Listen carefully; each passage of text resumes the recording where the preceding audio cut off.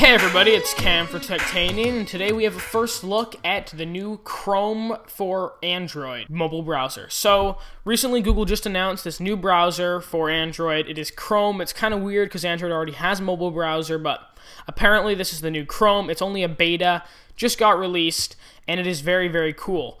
So I like it a lot, and this is just a video showing off some of the features. So you can see here, we're kind of swiping through with the new side swipe feature through the different tabs. It's very nice, very fast for swiping through. The browser reacts very smoothly. It just flies through. It's much faster at rendering also over the previous Android browser.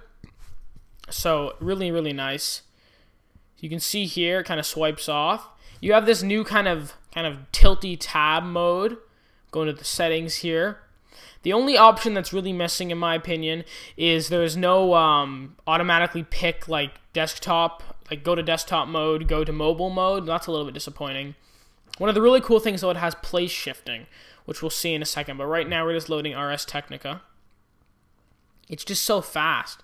You can kind of swipe through, but we're going to see some of the place shifting features. So you can see if you hit the menu button up there, it pulls down all these different options. If you click on other devices, then it will see if you go on your computer and sign in, and you sign in on your phone, then all you have to do is your tabs that are on your computer. You can see there's a will show up on the phone too. And you can just tap on a tab on the phone and it will load on both devices simultaneously so your tabs are always in sync. So you don't even need to use that Chrome to phone feature anymore. You got to go, you just hit the button, it's all in sync automatically. So that was just a quick look at the new Chrome beta for Android.